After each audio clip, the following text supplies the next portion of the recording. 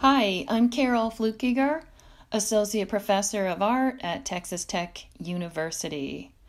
I'm honored to have been invited to share my art project, Solitude of Selfie. My artwork is at the intersection of painting, first wave feminism, and solar energy.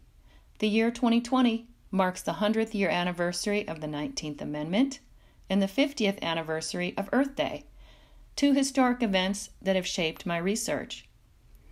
Working with sunlight to expose imagery in my compositions, I think of West Texas as the world's largest light table. It is an additive color landscape, more light than land, more horizon than pavement, more sky than earth. In honor of the 100th year anniversary of the 19th Amendment, 1920 to 2020, I worked on a series of mixed media drawings in response to Elizabeth Cady Stanton's 19th century address, Solitude of Self. Working for suffrage her entire life, Stanton believed this address to be her greatest achievement.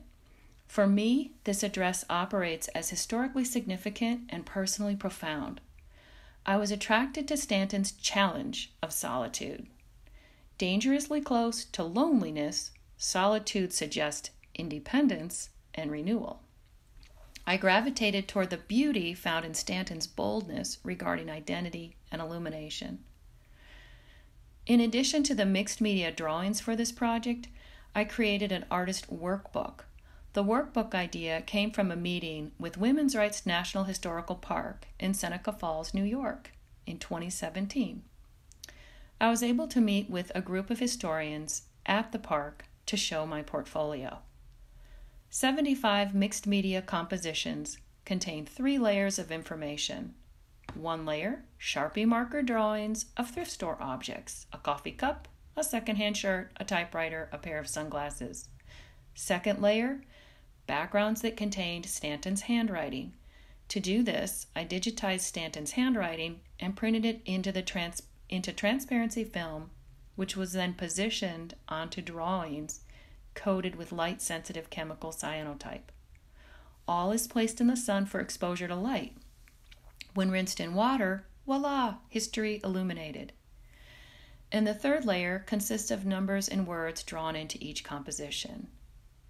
While I struggled with thinking about how to visually respond to Stanton's 33 paragraph address, I decided to reduce it to one word per paragraph.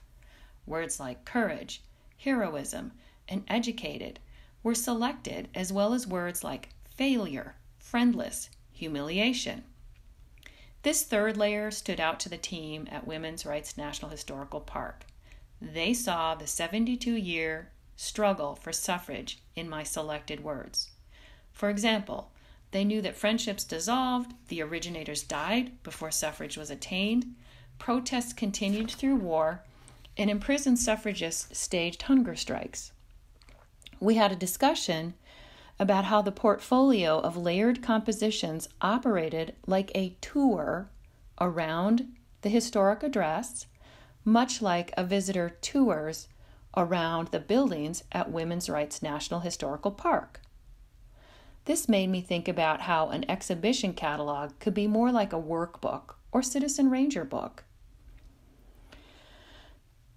the workbook would contain Stanton's original address, my selected words, my drawings, and my reflective writing. Viewers would be invited to pick their own words, draw their own pictures, and write their own narrative as they toured the historic address.